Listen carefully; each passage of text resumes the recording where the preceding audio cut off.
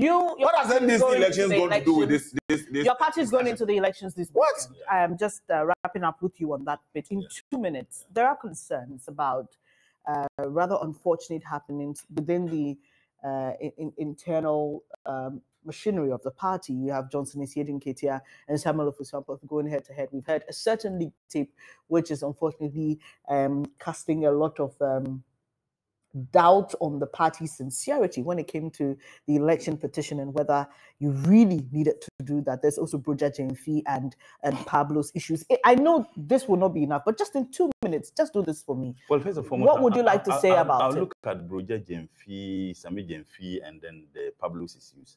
I think these three individuals have been very, they, they are misbehaving. And to be fair, and I think that the party should sanction them. The party should let them understand that none of them, either Sammy Gyamfi or Brogya Genfi or Pablo, none of them is bigger than the party. They ought to understand that. The misbehavior was completely unacceptable, but that could not have marred the beauty of the NDC in organizing the Congress.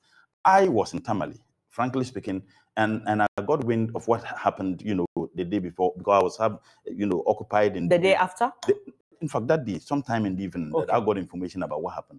I think that the party should bring these people. If there is the need for them to be sanctioned, the party should sanction them. They are not bigger than the party.